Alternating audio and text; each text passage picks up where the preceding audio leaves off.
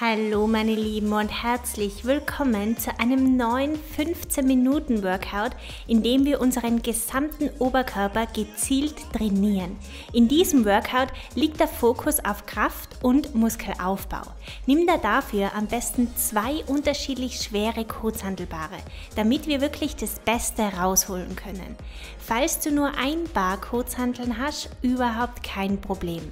Dieses Workout ist Teil meiner kostenlosen 28 Tage Let's Get Strong Challenge. Das Homeworkout-Programm für weibliche, schlanke und definierte Muskeln. Alle Details und den kostenlosen Trainingsplan findest du auf meiner Website. Den Link dazu packe ich dir in die Videobeschreibung. Bereit? Dann lass uns direkt loslegen. Nimm da für die erste Übung die schwereren Gewichte und komm in eine vorgebeugte Haltung, wobei der Rücken komplett gerade ist und deine Knie leicht gebeugt. Bring beide Kurzhanteln nach unten und zieh sie dann in Richtung Bauchnabel. Am besten du stellst davor, dass deine Ellbogen die Decke berühren. Damit trainieren wir besonders unseren Rücken.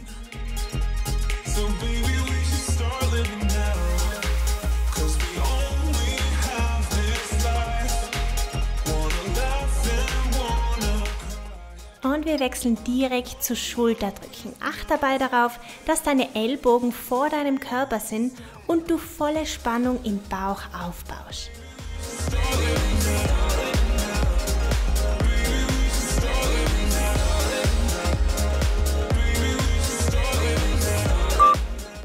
Sehr gut. Atme kurz durch, leg die Kurzhanteln zur Seite und komm in Bauchlage auf die Matte.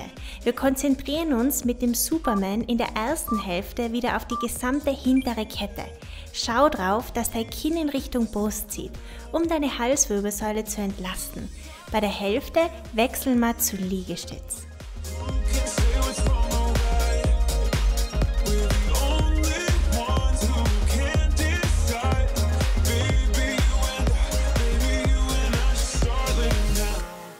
Und wir wechseln direkt zur Liegestütz, womit wir unsere Brustmuskulatur und unsere Arme trainieren. Gerne kannst du dafür auch beide Knie auf der Matte ablegen. Jeder Körper ist anders. Hör auf ihn und wähl die Variante, die sich für die gut und sicher anfühlt. Und lösen. Mit der nächsten Übung brauchen wir wieder unser Zusatzgewicht. Wenn du hast, das leichtere. Bring fürs Seitheben beide Kurzhanteln seitlich nach oben, wobei der Oberkörper minimal nach vorne gebeugt ist. Damit trainieren wir vor allem den mittleren Teil unserer Schulter.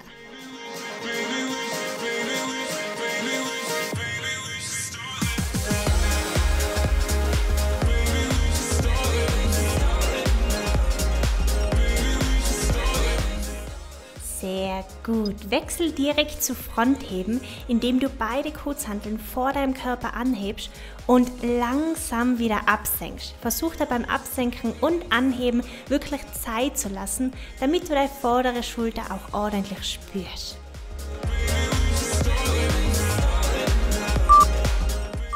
Und durchatmen. Leg deine Gewichte zur Seite und komm für unseren Hand Release Push-Up wieder in Bauchlage auf die Matte. Entweder du kommst mit gestreckten Beinen hoch oder du entscheidest dich für die etwas einfachere Variante und lass beide Knie auf der Matte. Bei der Hälfte wechseln wir zum Schwimmer.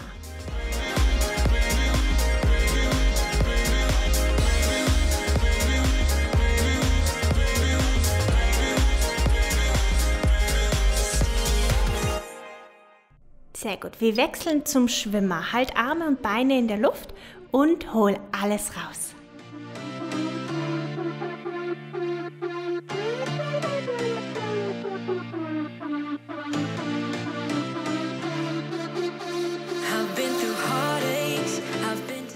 Sehr gut. Und Pause.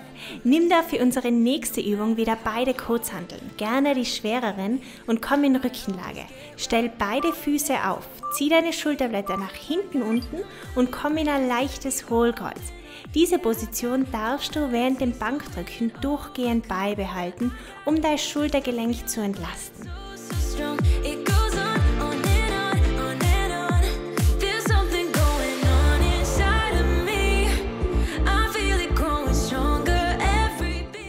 Als Gegenspieler wechseln wir jetzt zu vorgebeugten Rudern. Dein Rücken muss dabei gerade bleiben und stell dir wieder vor, dass deine Ellbogen in Richtung Decke ziehen.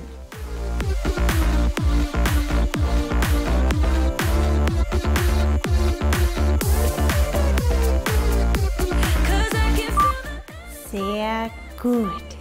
Halte deine Kurzhanteln in beiden Händen und mach die bereit für unsere Bizeps Curls. Lass dafür während der gesamten Ausführung beide Ellbogen an deinem Körper angelegt und heb die Kurzhanteln nur so hoch, bis du merkst, dass sich deine Ellbogen lösen würden. Lieber langsam, dafür kontrolliert. Bei der Hälfte wechseln wir zu Low Row.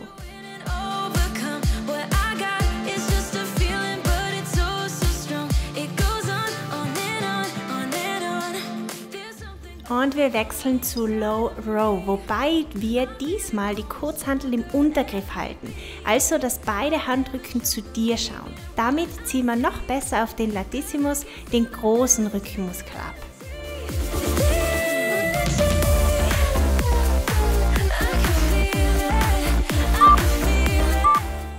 und lösen. Sehr gut. Mit der nächsten Übung trainieren wir unseren Trizeps.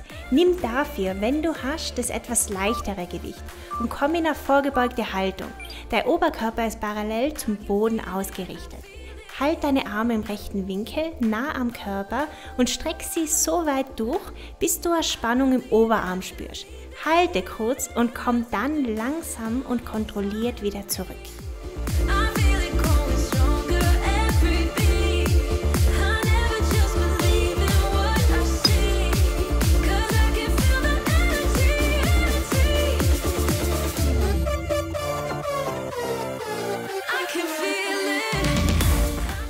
Sehr gut, die letzten 10 Sekunden. Komm schon, du schaffst es.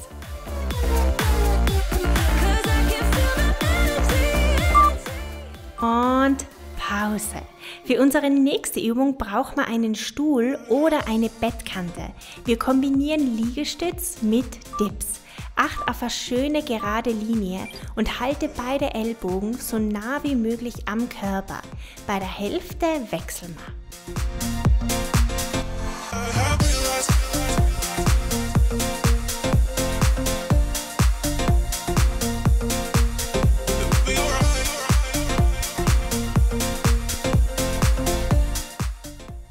Wir wechseln zu unseren Dips.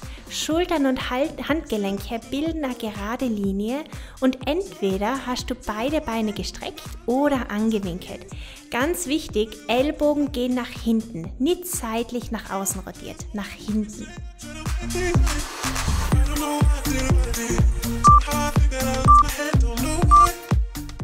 Sehr gut, lösen. 20 Sekunden Pause, bis wir mit dem zweiten Durchgang weitermachen. Wir starten wieder mit unserem Liegestütz. Ellbogen bleiben so nah wie möglich am Körper. Spannung im Bauch und acht auf eine schöne gerade Linie im gesamten Körper. Bei der Hälfte wechseln wir zu Butterfly Reverse.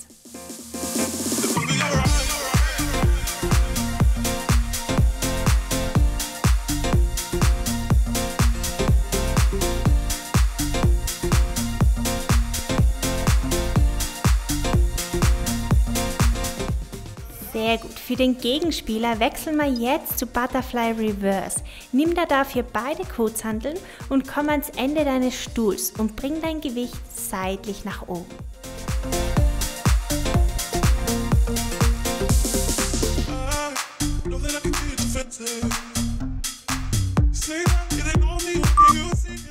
Sehr gut. Atme durch und komm direkt hoch. Wir machen weiter mit Seit- und Frontheben. Diesmal in Kombination. Acht auf volle Körperspannung und darauf, dass du nicht im Schwung arbeitest. Je langsamer und kontrollierter, desto besser.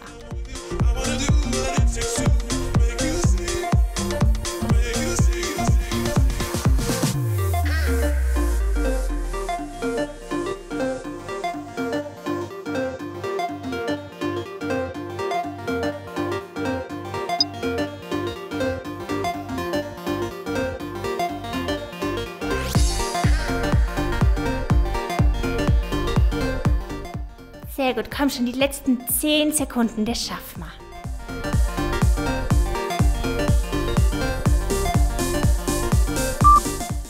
und lösen. Sehr gut.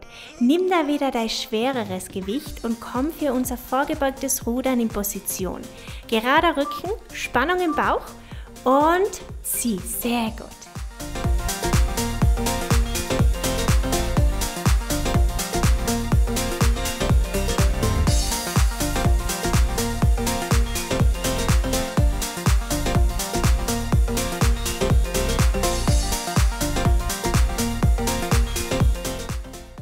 Noch drei, zwei, eins und wir wechseln zu Schulterdrücken. Ellbogen bleiben vor deinem Körper und dein Bauch fest und auf Spannung.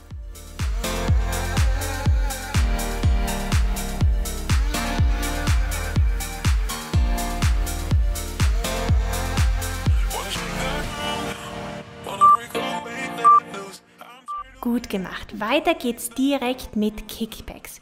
Übrigens eine mega Übung gegen Winkearme. Dafür kannst du dir gerne wieder dein leichteres Gewicht nehmen. Alternativ klappt die Übung auch ohne Gewicht. Hör am besten wieder auf deinen Körper und auf die Intensität, die sich für dich gut und richtig anfühlt.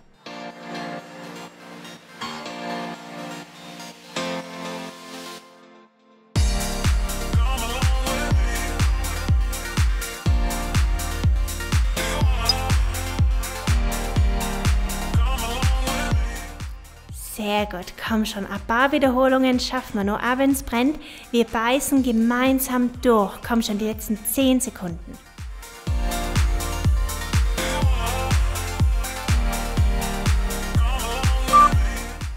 Und durchatmen. Wir brauchen wieder unser schwereres Gewicht und kombinieren Bizeps Curls mit Push-ups. Nochmal zur Erinnerung, bei den Bizeps Curls sollten deine Ellbogen am Körper bleiben, um volle Spannung zu erzielen.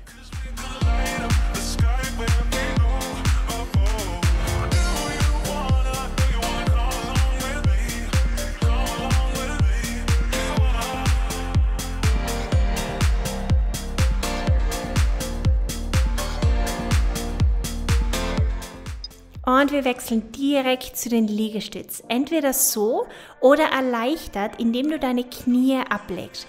Beides ist okay. Versuch die nicht zu vergleichen, sondern wähl die Variante, mit der du dich gut fühlst.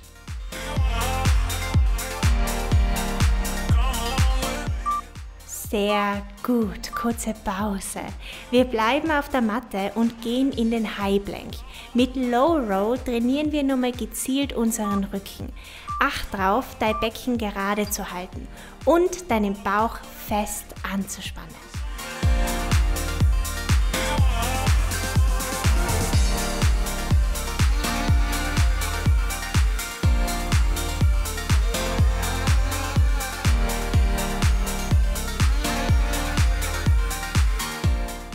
Und wir wechseln zur anderen Seite. Sehr gut.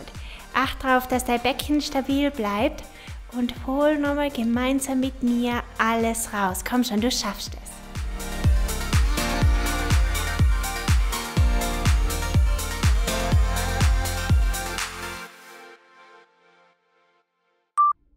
Und lösen. Super. Wir sind bei der vorletzten Übung und kombinieren Schwimmer mit dem Unterarmstütz. Bei der Hälfte wechseln wir.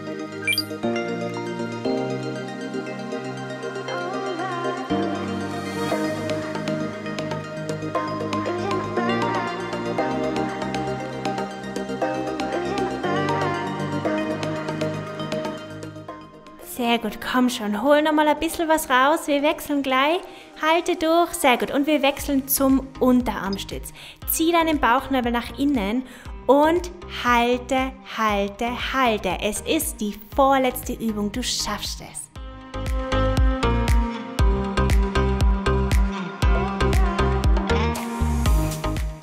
Die letzten vier, drei, zwei, eins und absetzen. Meine Lieben, wir sind beim Endspurt. Schnapp dann nochmal die schwereren Gewichte und komm in die vorgebeugte Haltung. Handrücken schaut nach hinten, Rücken ist gerade und dein Bauch auf Spannung. Bei der Hälfte wechseln wir nochmal zu Military Press.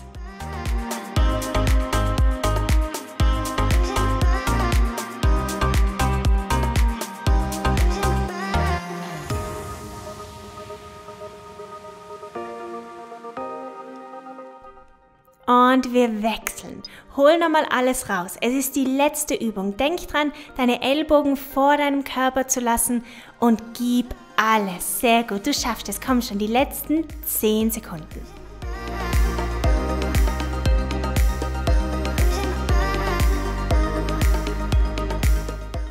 Sehr gut und lösen. Gut gemacht. Gratuliere.